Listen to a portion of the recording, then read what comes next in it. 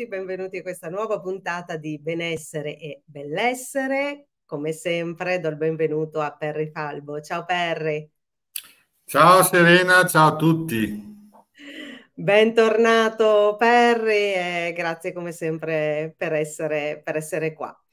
Allora, Perry, oggi parliamo di impronte di nascita e lo facciamo con Monica Grando. Ciao Monica e benvenuta.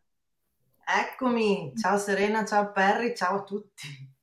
Grazie Monica per essere qua, eh, per questa, parlarci di questo argomento, insomma, molto particolare, affascinante, profondo direi anche, anzi particolarmente profondo. E io ovviamente lascio subito la parola a te, non voglio portarti via tempo eh, per spiegarci di cosa, di cosa si tratta però magari eh, per chi non ti conosce, prima dici qualche parolina di te, chi sei, eh, cosa, cosa fai nella vita e perché hai scelto proprio questo argomento. Perfetto, allora intanto grazie per questo invito, è sempre bello ritrovarvi perché per entrambi insomma è un ritrovarci in qualche forma, quindi sono molto contenta di essere qua a condividere con voi questo tema che è appunto un tema molto profondo ma un tema che sento anche tanto proprio. Eh, per chi non mi conosce molto brevemente, diciamo che professionalmente nasco eh, come naturopata, che è stato il mio primo vero eh, approccio professionale al benessere, benessere naturale, che da sempre è, una, è, un mio interesse, una mia curiosità, una mia, ehm, una mia costante ricerca, quella del, dello stare bene, puntando su quelle che sono le capacità di autoguarigione del corpo e degli alleati preziosi che abbiamo nella natura. I passaggi successivi sono stati poi mh, collegati comunque al mio percorso personale, perché per me è sempre prima un percorso personale che faccio per conoscere me stessa, per stare bene io e che poi insomma tutto quello che io imparo diventa eh, un'opportunità da condividere con le persone che si rivolgono a me. E quindi um, dopo la scuola di naturopatia, che è stato un po' il primo approccio verso tutto il mondo dei rimedi naturali, a partire dall'alimentazione, la fitoterapia, l'erboristeria, la floriterapia, ho sentito però che mi mancava sempre un pezzetto e quindi mi sono approcciata alle costellazioni familiari, diventando facilitatrice in costellazioni familiari per la risoluzione dei traumi a rilascio corporeo. E quindi sono andata a fare un po' ordine anche nel mio sistema familiare, nelle mie memorie, però anche lì sentivo sempre che mancava ancora un pezzettino ed è stato in maniera quasi naturale, un po' come sempre accade quando tu sei pronta, i maestri arrivano, le cose accadono, che mi sono approcciata qualche anno fa per la prima volta alle impronte di nascita che era un tema che effettivamente non avevo mai sentito, un approccio anche terapeutico che non avevo mai, mai sentito prima di quella, di quella volta, quindi un paio d'anni fa.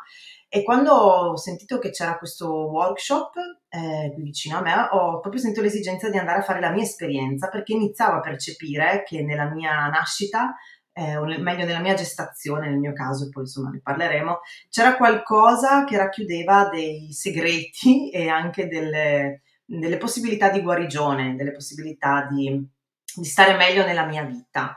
E, e, da lì è nato un amore, è nato proprio un grandissimo amore che mi porta oggi a fare questo principalmente come lavoro unito a tutte quelle che sono poi le conoscenze della naturopatia, eh, delle conoscenze diciamo, dedicate al femminile. Ho fatto anche un percorso di Dula, proprio sempre legato al mondo della nascita per accompagnare anche le donne nel, in questo viaggio meraviglioso eh, di, di accoglienza di una nuova anima verso l'incarnazione però non è tanto questo quello che mi piace fare o che sento mio, ma è proprio invece lavorare sui traumi legati alla nascita e legati a tutto il periodo della gestazione. Quindi ecco perché oggi ho sentito di voler portare questo tema, perché eh, sento che in questo momento della mia vita, perché io poi sono una molto curiosa, molto eclettica, quindi può essere che fra qualche mese farò altro, però al momento è proprio un tema che sento essere eh, molto importante, anche perché eh, credo che anche come umanità in qualche modo stiamo vivendo una sorta di nuova nascita e quindi lavorare sui temi della nascita eh, non può che essere utile per creare una nuova umanità, perché tutto parte da lì, tutto parte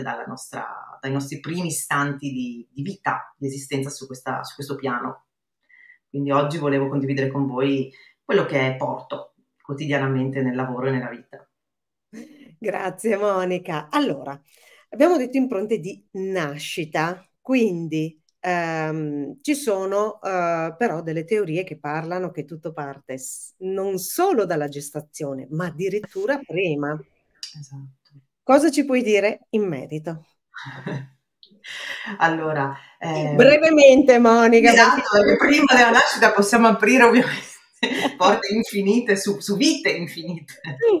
esatto. Però cerchiamo di stare proprio così un po'. Un Dobbiamo po'... stare nei nostri tempi. Nei nostri tempi, anche nella concretezza, perché comunque siamo anche nella materia, ci piace stare, stare anche qui, contemplando la meraviglia che siamo oltre la materia.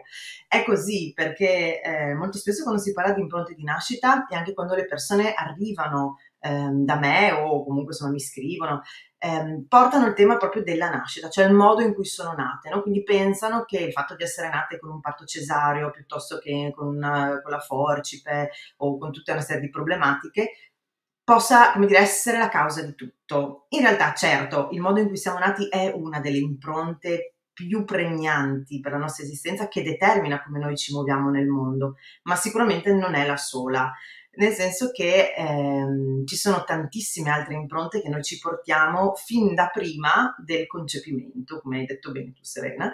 Ehm, anche la stessa Organizzazione Mondiale della Sanità ha definito ben 27 mesi intorno al periodo perinatale, eh, chiamandoli mille giorni d'oro. E, non a caso no? vengono chiamati mille giorni d'oro, cioè quella finestra temporale che viene definita di 27 mesi che determina in qualche modo il nostro oro, cioè il nostro valore, determina un momento talmente delicato, talmente profondo in cui iniziano a crearsi tutto, tutti i nostri sistemi da tutti i punti di vista, quindi corporeo, ma anche emotivo e poi vabbè, insomma anche spirituale, animico, chiamiamolo un po' come vogliamo. Quindi 27 mesi partono dai 9 mesi prima gestazio- del, del, concepimento, i 9 mesi della gestazione e i 9 mesi dopo la, la nascita tutti quelli sono momenti assolutamente fondamentali.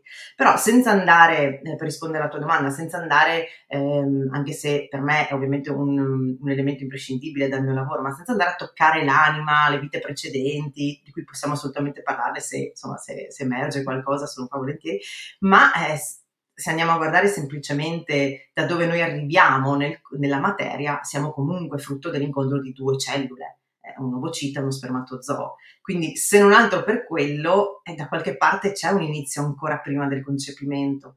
Quelle cellule chiaramente hanno delle memorie, portano delle informazioni, ma se noi siamo costituiti da questo incontro, da quelle cellule, non possiamo pensare che la nostra vita inizi con la nascita. C'è molto altro prima, ecco, quindi sicuramente partiamo da là, da prima del prima. Dal prima del prima. Anzi, la nostra nascita viene, noi calcoliamo l'origine della nostra esistenza proprio col momento della nascita e sicuramente quello è un momento importante perché usciamo effettivamente nella materia, però noi il calcolo del tempo, del nostro tempo, l'utilizzo proprio del tempo inizia, se ci pensate, anche dal momento del concepimento, perché lì si inizia a dire di quante settimane sei, quante settimane ti mancano, in realtà c'è qualcosa che inizia ancora prima, prima della nascita che non possiamo non considerare. Ah, su questo sono d'accordissimo. Dal momento, come dicevi tu, dal momento dell'incontro tra questi due eh, elementi così piccolini che poi ovviamente si crea un mondo, che già sono un mondo a sé anche, anche questi due elementi, appunto l'ovulo e lo, eh, e lo spermatozoo. Eh, ci sono eh, sicuramente insomma delle differenze tra ciò che viene mh, mm, come imprinting, utilizziamo ovviamente questo termine visto che stiamo parlando di in, impronte, e in, questi, eh, in queste tre fasi, quindi nove mesi di concepimento, e, e, i, insomma le, le tre fasi che tu hai sì. Quali sono i valori, gli elementi che si sviluppano nelle varie fasi e che quindi su cui noi possiamo andare a capire, a lavorare appunto su questo? Sì, certo. Allora, eh, diciamo che mh, le prime due fasi, quindi chiamiamole quella prima del concepimento e quella della gestazione, hanno molto a che fare con il diritto di esistere perché lì, quando siamo ancora fuori, tra virgolette, della materia, anche se siamo già nella materia, ma non siamo ancora nati, l'essere che si sta incarnando non ha, non ha temi di sopravvivenza, cioè i suoi temi sono legati alla possibilità di esistere. Noi arriviamo come delle anime, come delle essenze, chiamiamole un po' come vogliamo, che desiderano esistere e desiderano fare un'esperienza, desiderano essere viste e riconosciute ma non hanno paura, quindi non, hanno, mh, non sono legate ai bisogni dell'essere umano, quindi della sopravvivenza. Quindi tutti i temi che noi andiamo ad affrontare prima del, del concepimento, durante la gestazione, almeno per i primi mesi della gestazione, poi man mano che l'anima si incarna è chiaro che iniziano anche dei temi legati alla sopravvivenza, ma i primi tempi sono più legati al, al diritto di esistere. Quindi sono temi proprio esistenziali, legati a tutto quello che è il nostro arrivo, da dove arriviamo, eh, chi siamo, d- cosa veniamo a fare mentre poi nella seconda fase della gestazione e nel, nei primissimi istanti di vita, diciamo i nove mesi, ma poi in realtà potremmo andare anche un pochino oltre, ehm, abbiamo a che fare con i temi legati alla sopravvivenza, cioè ho tutto quello di cui ho bisogno, eh, vengo accolto nella giusta maniera, mi vedono e quindi mi danno il diritto di, di esistere e di sopravvivere su questa terra. Quindi diciamo che i due macro temi che noi possiamo identificare sono questi l'esistere e la sopravvivenza. Però poi quello che si va ad affrontare è, eh, come dire, è molto soggettivo e riguarda la storia di ognuno, per cui i temi sono chiaramente tanti quanti sono le persone e per ogni persona ci sono tantissimi temi perché chiaramente eh, ogni fase ehm, è pregna di informazioni che ci arrivano dal campo in cui noi arriviamo, per cui non lo so, il modo in cui arri- avviene ad esempio il concepimento è già un'impronta, cioè come sono stato concepito, sono stato desiderato o non sono stato desiderato, è già questa un'impronta ovviamente, ehm, così come la scoperta della gravidanza è un'impronta, la, la, madre, il padre, ma insomma si parla soprattutto della madre, dell'importanza della madre in quei mesi, ma eh, chiaramente anche il padre ha tutto il suo, il suo, valore, però è ovvio che è un rapporto più che altro simbiotico con la madre in quei primi istanti, ma come viene appresa la notizia del nostro arrivo è già un'impronta, c'è un sì alla mia esistenza o c'è un no, perché quel sì e quel no riecheggeranno poi per tutta la vita. Durante i nove mesi della gestazione, ad esempio, può accadere di tutto, perché può essere che la relazione tra i genitori subisca dei cambiamenti, possono esserci dei lutti, possono esserci delle paure, ci possono essere del, delle minacce di aborto, e quindi ognuno di questi momenti è diverso ed è pregnante e riguarda la vita eh, di ognuno di noi. Quindi sono davvero tantissime le informazioni, ma anche quelle apparentemente più banali. Non lo so, nella sala parto una frase del ginecologo che viene detta o dell'ostetrica durante il parto. È un'informazione che entra nel nostro campo, entra nel nostro sistema perché noi siamo informazioni e ci plasmiamo attraverso le informazioni e quelle informazioni apparentemente banali diventano noi e quindi poi noi pensiamo di essere no, queste informazioni fino a quando non incontriamo quelle impronte, non iniziamo ad osservare che sono solo delle informazioni e attraverso il lavoro nella modalità in cui lo propongo io andiamo a trasformare quelle informazioni dando delle nuove informazioni in un campo di amore, di accoglienza, eh, di rispetto che va un po' a riprodurre quello che dovrebbe essere il, l'utero è il, il, momento anche del, diciamo così, il contesto in cui proprio avviene la nascita. Mi ricorda molto quello che hai appena detto, Monica, il discorso proprio della mh, de- accettazione o rifiuto, chiamiamola così prima, quindi il diritto di esistere con la sopravvivenza, eh, il parallelismo con le due ferite emotive proprio da rifiuto e abbandono, che sono quella da rifiuto che appunto si sviluppa prima del concepimento e quella da abbandono che è la prima che si sviluppa dopo, mh, mm, dopo la nascita. E, ehm, tu hai visto, uh, cioè, ci, che collegamenti vedi in queste, in queste due ferite emotive? Sì, beh, ehm, l'hai detto molto bene, che poi noi possiamo usare magari vari termini, vari approcci, ma poi le tematiche dell'essere umano, eh, bene o male, sono, sono, quelle. È solo la modalità magari con cui io porto questo lavoro rispetto a chi lavora magari da un punto di vista, so, psicoterapeutico, eh, sulle, sulle, ferite o in, altri, in, altre modalità. Però sicuramente quelle sono le ferite principali dell'essere umano che riguardano proprio il nostro, il nostro arrivo, no? I, primissimi, i primissimi istanti, perché tutti noi viviamo dei traumi nel momento della nascita e nella fase, appunto, come vi dicevo, di, di tutte queste fasi.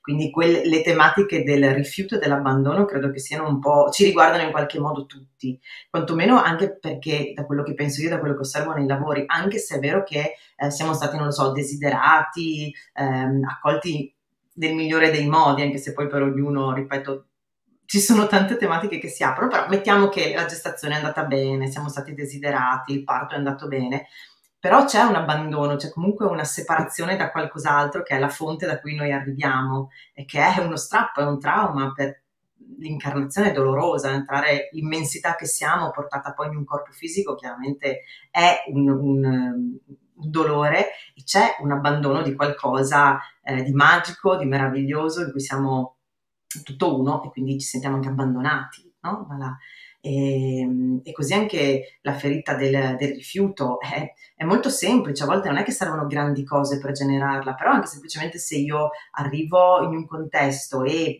per X motivi, non so, la mamma, eh, ma anche mettiamo, ecco, il caso semplicissimo, che il parto non va proprio benissimo, quindi il bambino viene allontanato immediatamente dalla madre, per il bambino quello è un rifiuto perché non riesce a comprendere chiaramente eh, la separazione dalla madre quindi c'è un rifiuto, a volte anche piccole cose non volute determinano queste grandi macro ferite che poi in realtà purtroppo condizionano il nostro stare al mondo, il nostro modo di relazionarci, proprio nelle relazioni intime.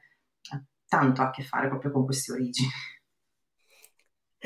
Grazie Monica, sono veramente delle informazioni bellissime. Perry, hai qualche domanda da, da fare a Monica?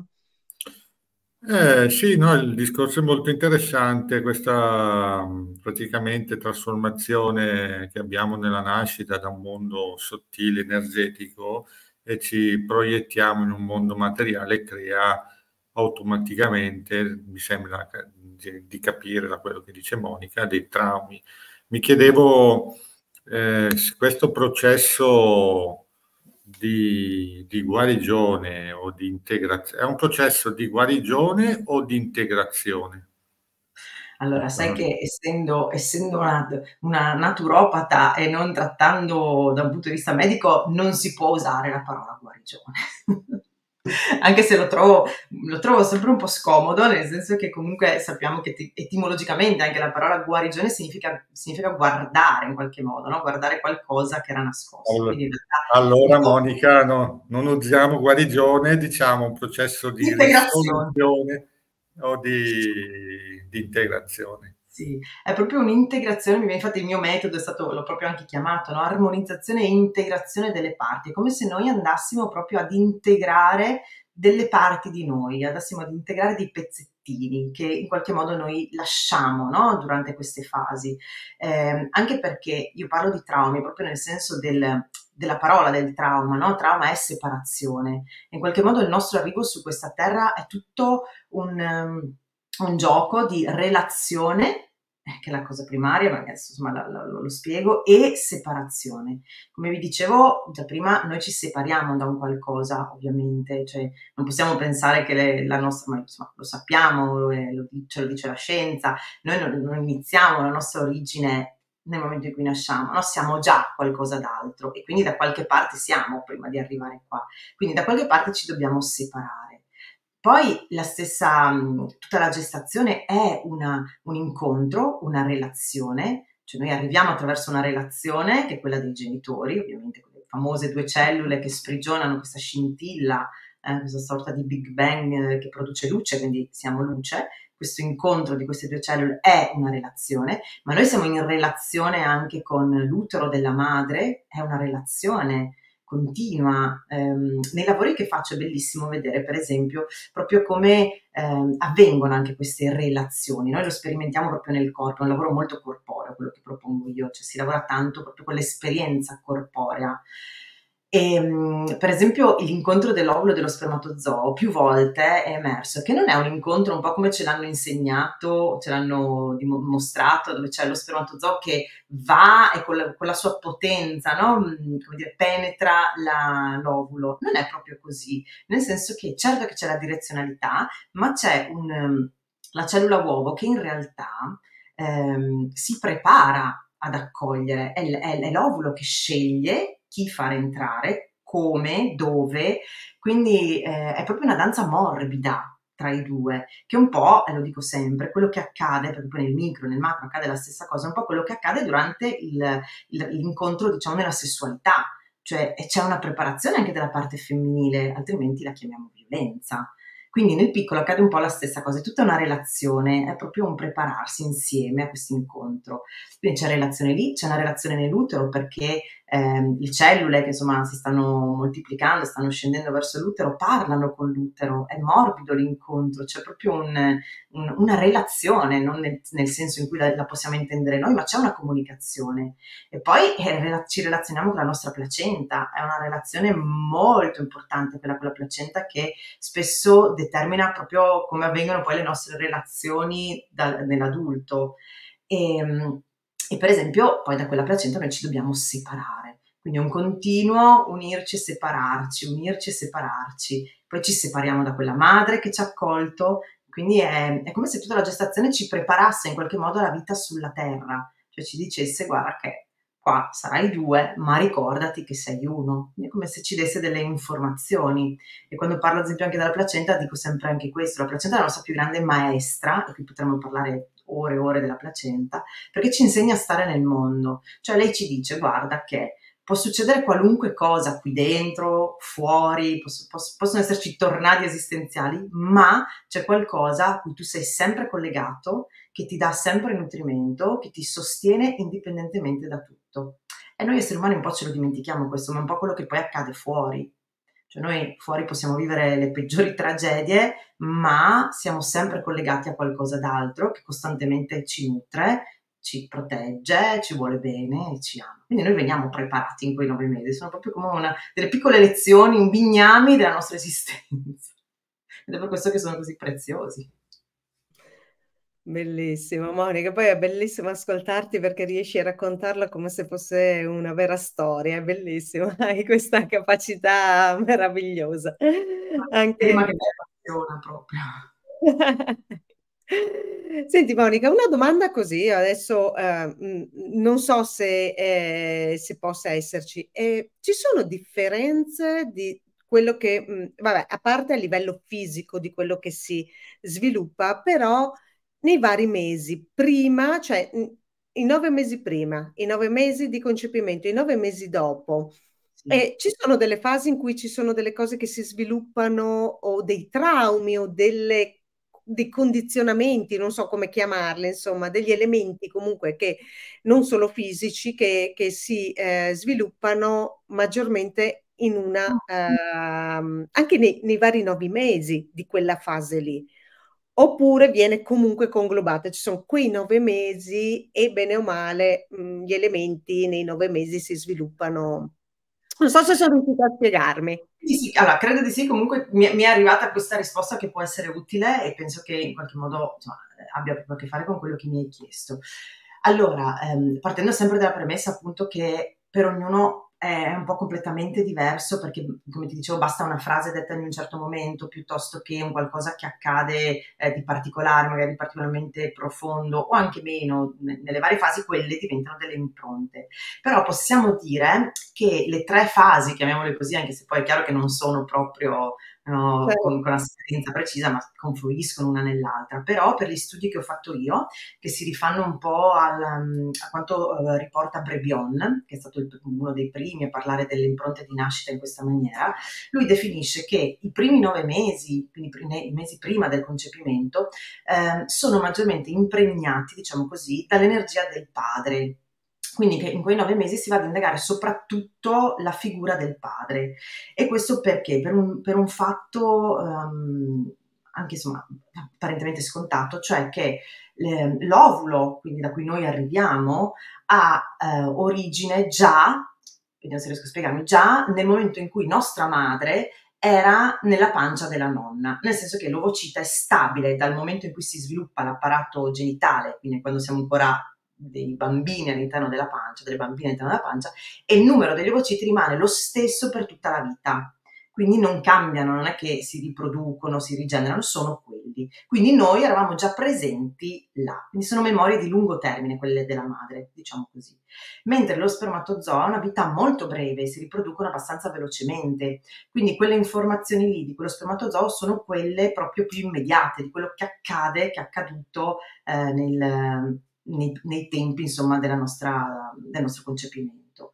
Quindi quei nove mesi di solito si va a indagare sui temi del padre, cosa ha vissuto il padre, cosa stava vivendo, eh, le memorie, diciamo così, che arrivano dalla linea paterna.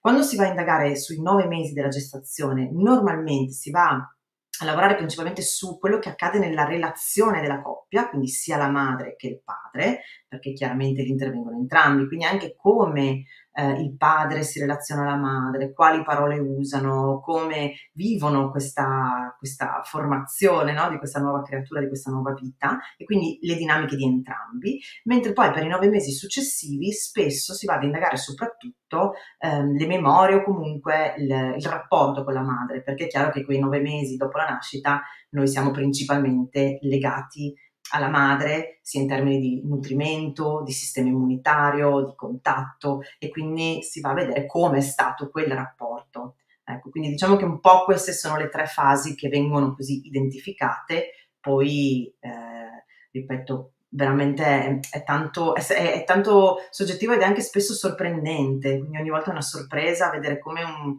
un, un dato apparentemente insignificante del nostro arrivo diventa così eh, pregnante, così determinante la nostra esistenza. Hai detto una cosa, guarda Monica, che mi ha fatto riflettere ta- eh, finché parlavi, e il fatto di, sai, quando vogliamo avere un figlio, allora cosa si fa? Principalmente eh, si tende a um, cercare di mantenere magari la donna calma, rilassata, 20.000 cure, insomma, eh, il padre viene sempre messo un po' in disparte, quando invece, da quello appunto che ci dici, visto che i nove mesi precedenti si va ad indagare il padre, eh, in realtà dovrebbe essere, eh, no, non dico, mh, mm, eh, come posso dire, curato, tra virgolette, ovviamente avere cura maggiore del padre, però la stessa eh, nella stessa modalità con cui eh, si, si, tratta la donna, perché se poi i nove mesi precedenti, tra virgolette, riguarda principalmente la relazione col padre, eh, in realtà questo non dovrebbe essere trascurata questa cosa. Bravissima. È, è, proprio così, eh, noi spesso, soprattutto nella ricerca no, del figlio, ci concentriamo sulla madre, come hai detto tu, di cercare di darle tutto quello di cui ha bisogno, di supportarla, però ci dimentichiamo proprio questo aspetto. E anzi, io eh, spesso lavoro, per me il lavoro delle impronte di nascita non è solo lavorare sui traumi, ma eh, anche fare prevenzione, cioè accompagnare le coppie appunto a ricercare un figlio nella sacralità di questo evento.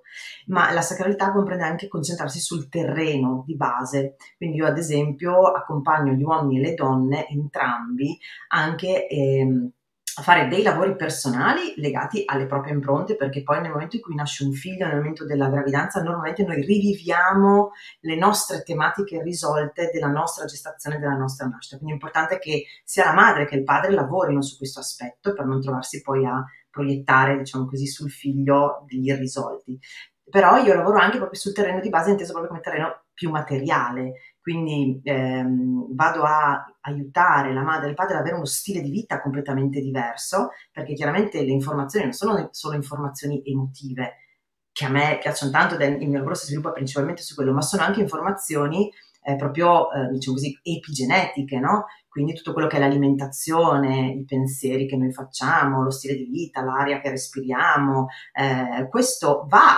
chiaramente a trasmettersi da quelle due cellule all'essere che poi sarà. Ma di questo fa parte anche il padre. E quindi anche accompagnare il padre attraverso un lavoro personale sui suoi pensieri, sulle sue emozioni, su quello che sta vivendo è fondamentale.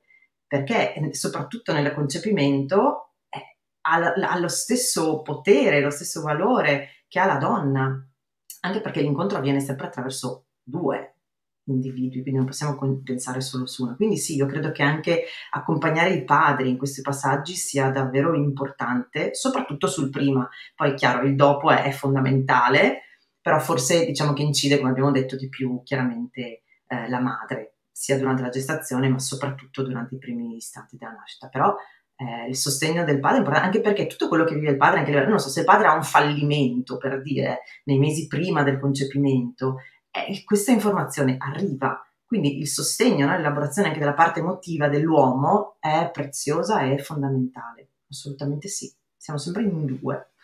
infatti, infatti questo eh, io lo ritengo fondamentale perché si sente sempre, certo, è la madre che porta poi nove mesi, è la madre che poi subito dopo, insomma, c'ha, eh, e nei mesi successivi, nei primi anni di vita, è principalmente la mamma, ovviamente, che ha questo legame molto forte con, con il bambino anche per un discorso, insomma, magari andando poi su piani sottili, sappiamo che c'è un, una, eh, una fu- fusione, chiamiamola così, del campo eterico di mamma e figlio, quindi insomma c'è un distacco da quel lato lì molto più, molto più lento. Però come dicevi tu, sì, il terreno, spesso eh, noi tralasciamo il terreno, quando ah. invece e, e il terreno è fatto da due energie, maschile sì. e femminile. Invece ah. noi ci concentriamo spesso, soprattutto nell'ultimo periodo, ho visto Monica, che c'è questa esaltazione eh, del femminile che poi diventa femminismo, che quindi non è più femminile, quindi c'è, c'è più questa, questa cosa. Però ci dimentichiamo sempre, come dicevi tu, sì, ma per fare, eh, per fare qualcosa che indipendentemente, allora, un figlio maschio e femmina, ma eh, qualsiasi cosa abbiamo bisogno dell'energia maschile e dell'energia femminile, quindi non dobbiamo, mm, quindi va benissimo, cioè è fondamentale aiutare la mamma ad essere un terreno tranquillo, eh, veramente, però eh, la parte maschile è, è, fondamentale, anche perché eh, dopo sì, sì. il padre regole, no? Se nei nove mesi, eh, il maschile, ecco, diciamo padre per parlare in senso lato, eh, se nei nove mesi precedenti, eh, come dicevi tu, c'è un fallimento, eh, ha subito un trauma, ehm, cioè qualsiasi è, è stressato, eh, in realtà anche questo si ripercuote poi su tutto, su tutto il resto. Assolutamente, ma poi anche, eh, ad esempio, hai parlato bene tu adesso di, no, di, di femminismo, che poi eh, ovviamente non è più il femminile. E, e, infatti, se noi osserviamo adesso c'è proprio questo sbilanciamento no, di queste energie, che è un passaggio sappiamo necessario, perché poi ci, ci dovrà essere un equilibrio, finalmente si spera, tra appunto l'energia maschile e femminile che collaborano. E, e, questo secondo me si vede anche molto nei tanti casi di infertilità che ci sono in questo momento. Ehm, e c'è, ci sono secondo me due motivazioni, una che è abbastanza forse più, più evidente e l'altra che a me è arrivata anche un po' come intuizione sempre nei lavori. Questa, quella più evidente è proprio eh, data da quello che diciamo, cioè dal terreno, cioè da uno stile di vita non sano e non adatto al, a generare una nuova vita, no?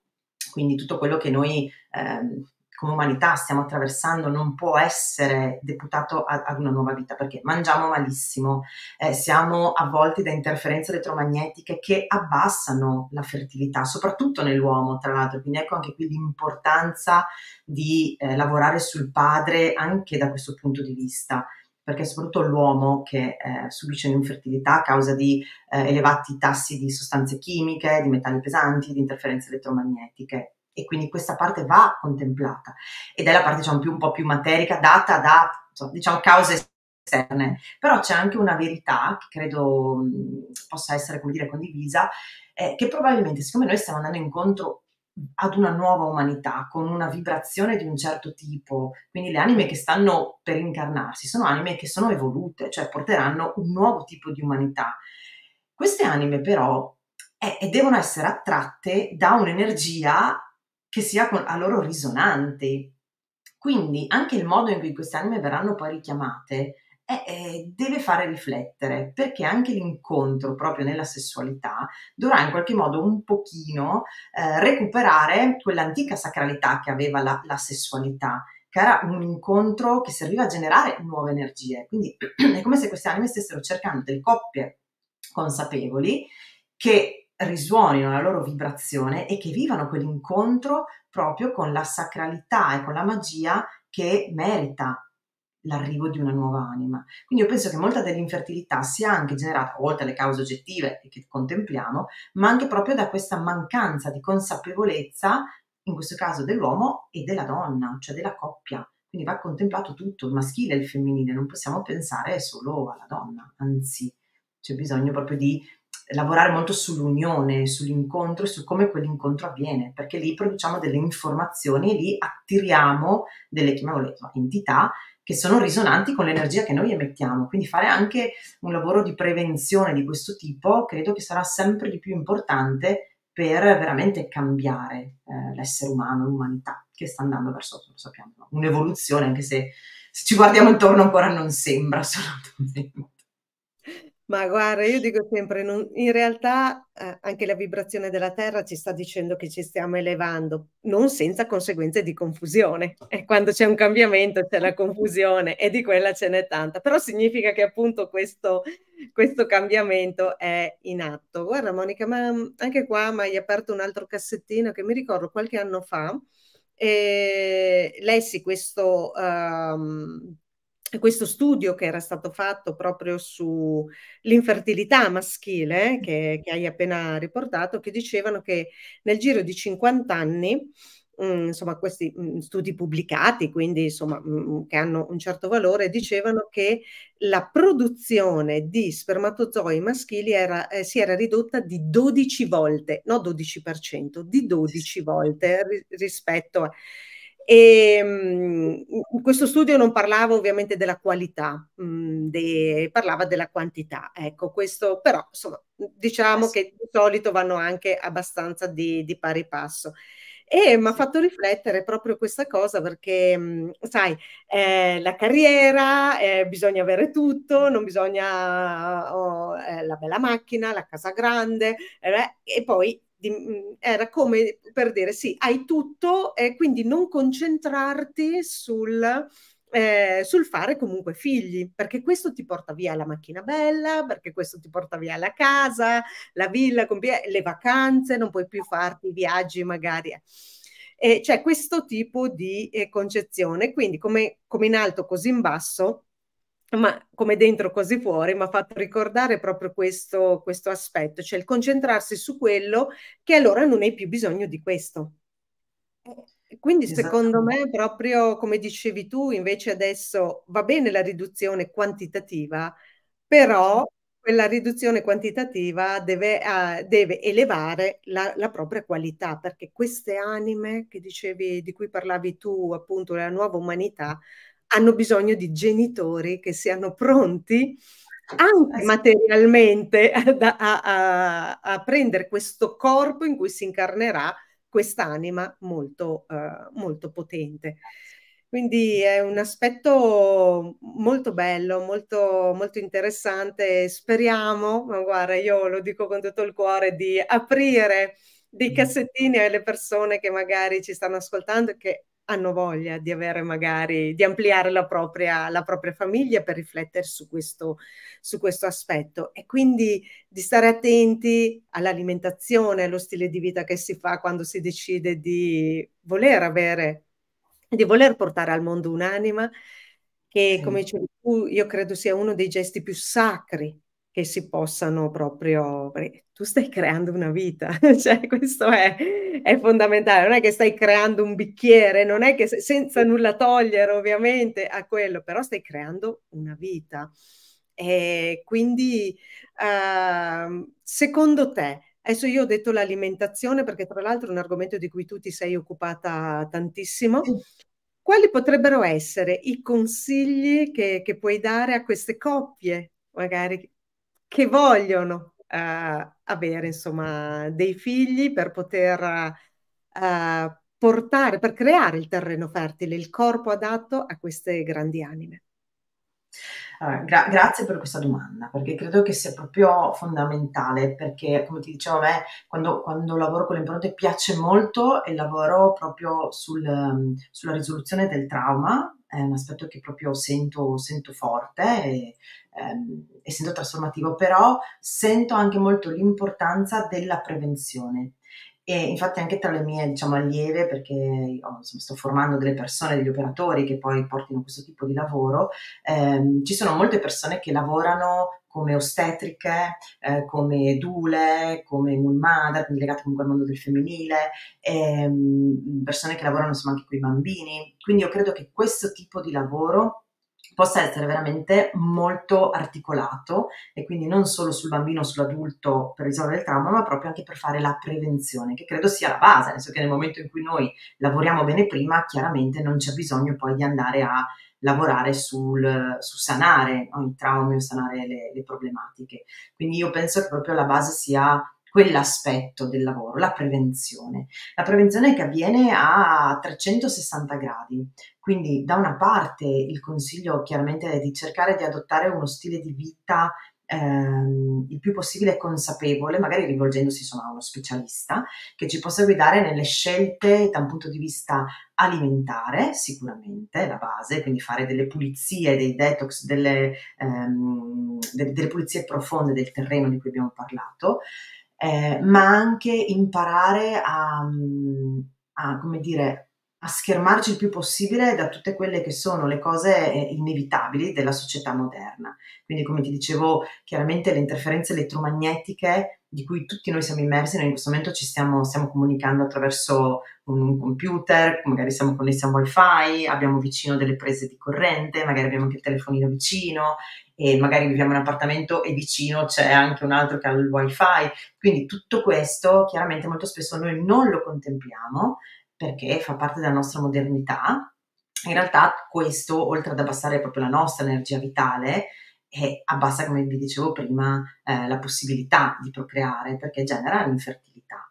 Così come tutte quelle che sono le, mh, i sovraccarichi eh, di quello che è sempre il nostro ambiente, quindi inquinanti ambientali, smog, ehm, pesticidi, eccetera, che noi otteniamo dal cibo che, di cui ci nutriamo, dall'aria che respiriamo, dall'acqua che beviamo. Quindi cercare il più possibile, perché chiaramente questa è la, è la nostra modernità o postmodernità in cui ci troviamo e quindi non possiamo, ehm, a meno che non lo vogliamo e che non faccia parte del nostro percorso, isolarci su un cucuzzolo eh, della montagna più isolata, cibarci solo delle nostre cose, autoprodurre. Ok, quella è una scelta, una via, ma diciamo che nella maggior parte dei casi viviamo in questo modo. Quindi cercare di, di schermarci da tutto questo, cioè fare il possibile per eh, migliorare il nostro stile di vita e con, con, con, tutti gli strumenti che abbiamo, perché per fortuna comunque li abbiamo. Um, e questo è un approccio. Poi chiaramente c'è tutto un lavoro che va fatto da un punto di vista emotivo, quindi energetico emotivo, e quindi quello che vi dicevo prima, io il consiglio che do alle persone sicuramente è di lavorare sulle proprie impronte, andare a scoprire la propria origine, il proprio arrivo, le proprie memorie, perché quelle continuano a, ehm, a solcare dei terreni sui quali noi camminiamo ed è per questo che si chiamano impronte e, e si risvegliano, si riattivano nel momento in cui poi noi andiamo a generare una nuova vita. Per esempio anche tanti casi di aborti hanno molto a che fare con le nostre memorie. Quindi andare a risolvere quello è fondamentale per poter dare alla luce un nuovo figlio. Ma poi quando il bambino arriva, attiva delle memorie, degli irrisolti, eh, soprattutto nel padre, tra l'altro. Per quello io credo che accompagnare il padre sia fondamentale anche in questo momento, perché il padre in qualche modo è viene messo da parte, no? giustamente, perché la donna in quel momento è proiettata sul figlio, perché il rapporto con il figlio è simbiotico, però magari questo tipo di avvenimento risveglia un trauma di quel bambino che magari è stato abbandonato o non è stato considerato o ha vissuto eh, una nascita insomma traumatica che l'ha separato dalla madre, quindi si riattivano tutte queste memorie. E quindi lavorare prima, risolvere prima, permette poi anche nel momento in cui si diventa genitori di avere la capacità, sia come genitori sia come coppia, di vivere al meglio qualcosa che può essere altamente destabilizzante per la coppia, ma anche poi per il bambino, ovviamente. Quindi io questi sono i consigli che sento di dare per lavorare proprio a 360 gradi. Guarda Monica, prima parlavi di frequenze, a volte sembrano, vabbè, mm, insomma l'alimentazione, poi ognuno insomma sceglierà come, come farla, perché dipende anche da persona a persona, ovviamente così, però come dicevi tu, una depurazione, qualcosa, cioè questo è fondamentale.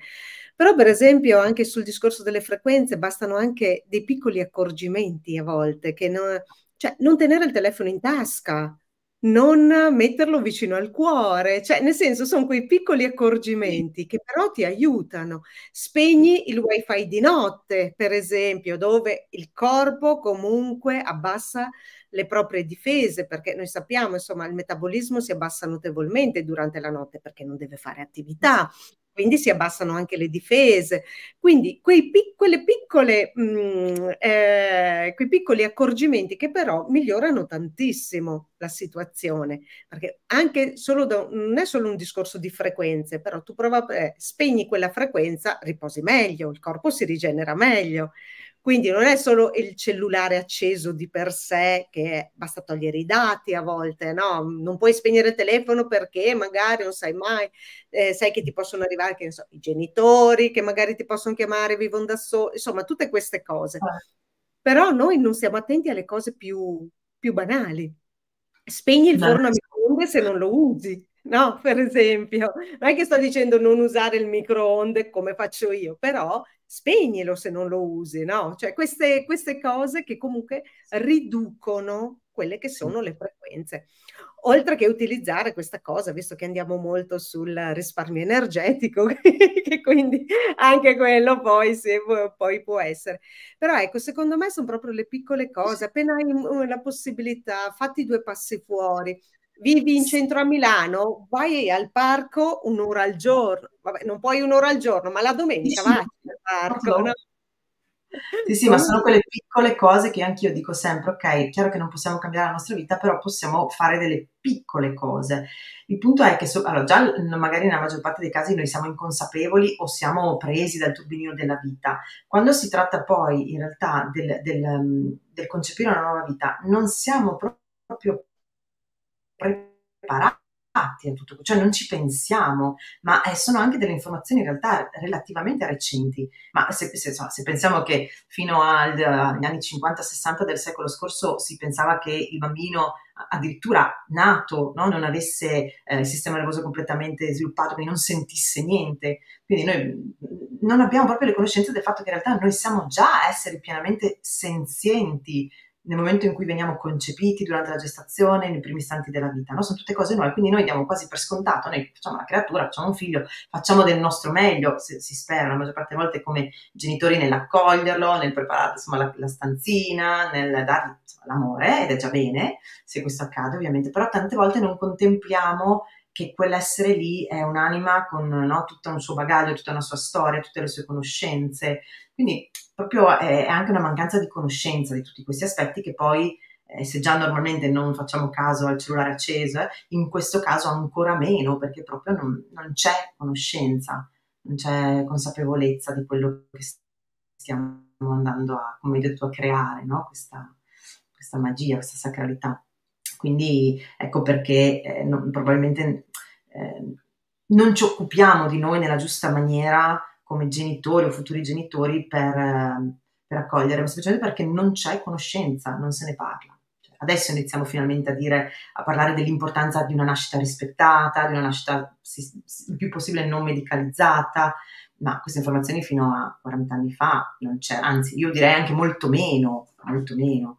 E così come non c'era l'idea invece proprio di un, di un essere cosciente già prima della nascita, no? Sono tutti temi assolutamente eh, nuovi per la nostra società.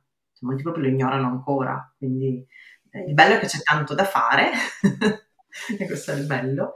E il dispiacere è che magari ci siamo persi tanto, ma fa parte tutto del, sappiamo, del, del piano superiore. Quindi io penso che dobbiamo recuperare, recuperare tanto legato a quel passaggio lì, perché, perché ogni, nasce, cioè ogni inizio no, dà proprio la nota poi a tutto il progetto, è lì noi eh, iniziamo ad essere un progetto, quindi considerare e contemplare quelle fasi lì penso che sia ormai doveroso, mm, necessario anche. Bello. Perry, ci stiamo avviando verso la, la conclusione e qualche considerazione, qualche altra domanda a Monica? Mi sono venute diversi ragionamenti su quello che ha detto Serena e anche Monica, nel senso che è interessante il lavoro che fa Monica perché se, se ci si pensa, se si lavora sulla coppia, eh, il modo di eh, avere una relazione eh, che porti alla nascita delle nuove generazioni eh, in un certo modo, magari senza, con meno traumi possibili, perché io penso che il trauma a zero sia impossibile, porta ad avere una società del futuro fra 20 anni, fra 15 anni, fra 30 anni diversa. Quello che ha detto prima Serena, che è partita dall'infertilità maschile, eh, mi ha fatto ragionare che quella, la società che viviamo, una società molto individualizzante. Se ci si pensa, le manifestazioni tipo internet, social rendono uh, le persone sempre più eh, con la voglia di, di, farsi vedere, di far vedere che ci sono. Quindi mi fa pensare che è un trauma che hanno avuto 20, 30 anni, 40 anni fa da genitori eh, che avevano una concezione del mondo diversa, eh, il trauma sia quello di non essere visti. Quindi volevo chiedere a Monica su questo trauma, che forse non so se sia questo il trauma principale della società moderna, su questo trauma come si può gestire e se è questo il trauma principale. Allora, anche questa è una bellissima domanda, quindi grazie Perry.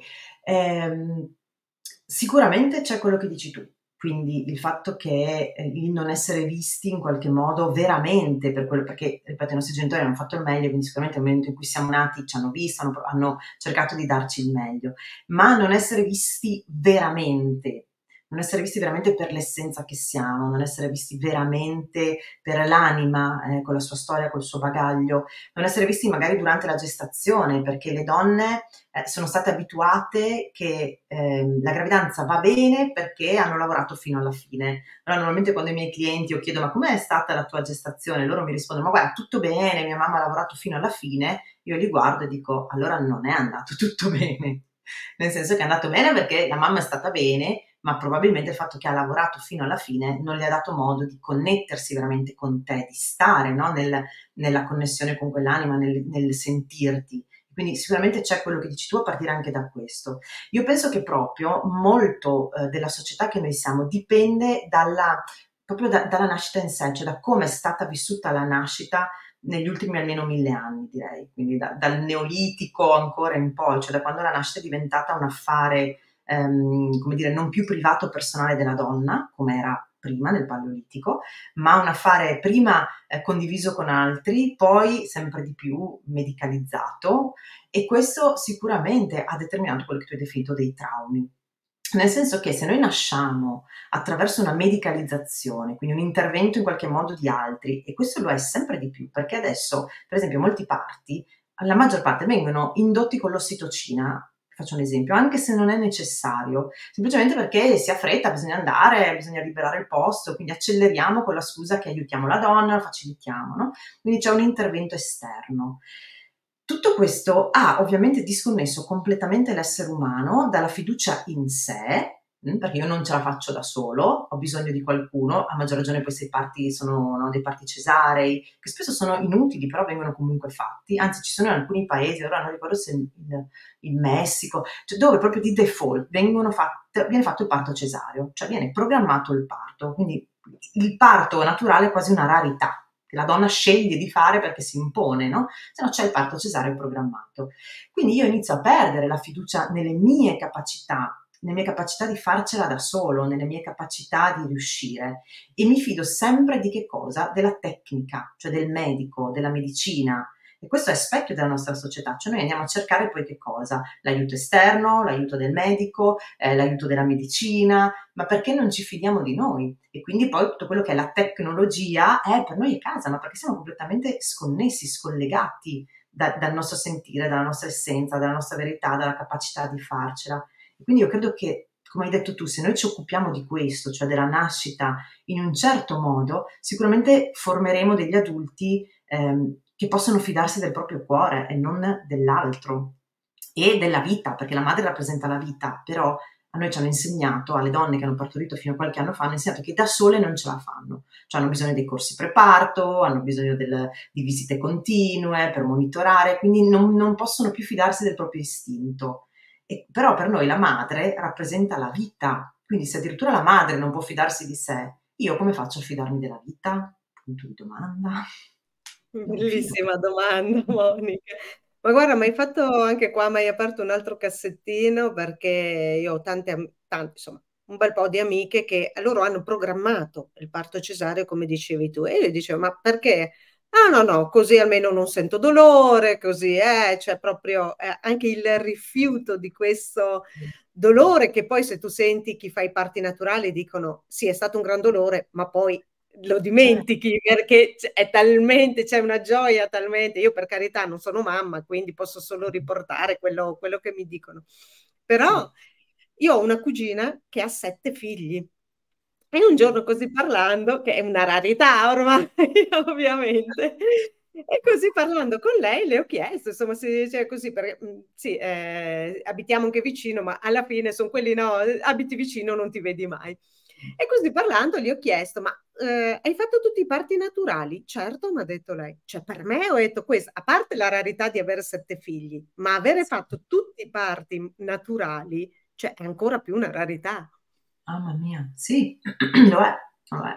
Che poi è vero che il parto è doloroso, ma anche io non sono madre, ma ovviamente insomma eh, lo, lo, sentiamo da tutte le donne, le amiche che conosciamo, eccetera.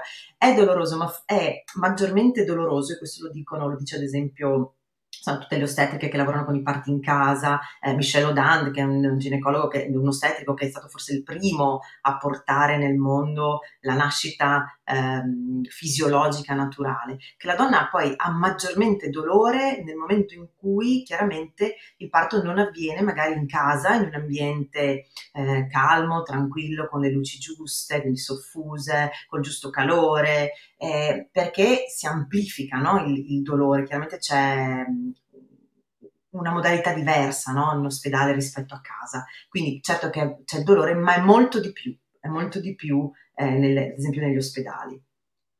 E, ehm, e, quindi ritornare lì secondo me è proprio la base, ma quello che dicevi tu è, è secondo me è terribile il fatto che eh, a meno che non ci siano delle esigenze particolari, dei traumi particolari. E allora benvenga la tecnologia, benvenga cioè, assolutamente. la scelta proprio, no? Cioè la scelta di partorire in un determinato modo e che anche quella è rispettabile perché magari ci sono delle paure appunto inconsce e quindi va benissimo. Il punto è quando proprio ti viene imposto quasi dall'esterno, cioè va fatto così, no? Che non va bene e non ti vengono spiegate alternative, non viene accompagnato in una scelta consapevole.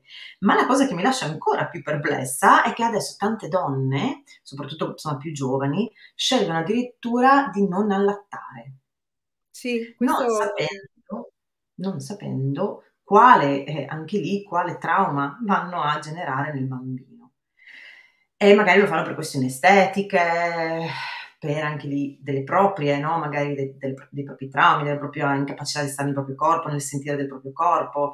Va tutto bene, però appunto è per questo che secondo me bisognerebbe lavorare prima per aiutare queste, queste donne, accompagnarle a risolvere magari i loro traumi e responsabilizzarle su quello che la loro scelta poi può comportare, perché eh, non è semplicemente do un, un, un passo sostitutivo, chiamiamolo, eh, anche perché mi, mi, raccontava una mia amica l'altro giorno che mh, ha un'amica che ha appena partorito, ha scelto di non allattare e lei gli ha chiesto ma che cosa c'è nel, nel pasto insomma, che, le, che dai a tuo figlio? E questa donna ha risposto non so, cioè quindi neanche l'informazione rispetto a che cosa, cioè me l'ha detto il medico, quindi andrà bene, neanche andare a leggere no, che cosa stai dando, al di là della scelta di non allattare, che è un trauma perché stai togliendo il nutrimento, cioè stai togliendo a tuo figlio la possibilità di nutrirsi, quindi di prendere dalla vita, quello che dicevamo prima, perché la mamma è vita, quindi non posso prendere dalla vita, e questo avrà una conseguenza sicuramente sull'adulto.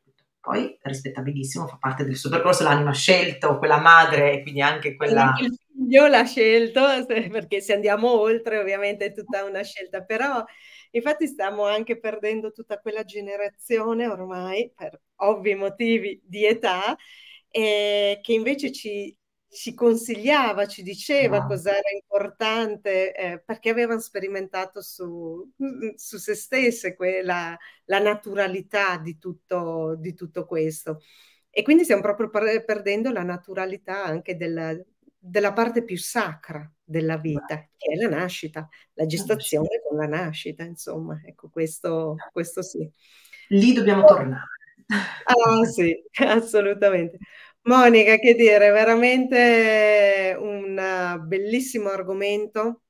Grazie. È ovvio che ci sarebbe da dire chissà quanto ancora, però ci hai dato veramente tantissimi spunti di riflessione tantissime, eh, tantissime informazioni e io spero insomma che questa curiosità in chi ha voglia di portare una nuova vita qua eh, abbia instillato la, la voglia di, eh, di, approfondire, di liberarsi dei, dei, propri traumi o comunque il più possibile proprio, dei propri traumi perché insomma stiamo parlando di una delle cose più meravigliose direi della, eh, della nostra esistenza.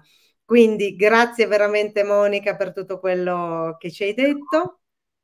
Grazie Perry come sempre, ovviamente che sei qua. Grazie per la regia che fai sempre perché ovviamente non ti ringraziamo mai abbastanza per questo. E ringrazio tutti coloro che, tutti voi che ci avete ascoltato e anche chi ci ascolterà poi successivamente. Grazie, Grazie a tutti. Grazie a te Monica e vi do appuntamento alla prossima puntata di Benessere e Bellessere. Ciao a tutti. Ciao. Ciao a tutti e grazie.